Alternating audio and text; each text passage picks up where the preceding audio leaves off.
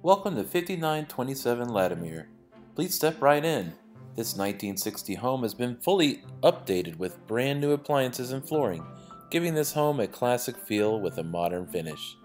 Looking around, no details were spared. The rich porcelain flooring laid throughout the home mirrors that of professional woodwork. Walking through the dining room and kitchen, if you look above, you'll notice the beautiful, detailed rustic light fixtures. The open kitchen is surrounded with beautiful white granite countertops and stainless steel appliances. In the center sits a large island that opens to the living area and makes it easy for you to host guests. Making our way to the hall, the first room seen is the master bedroom.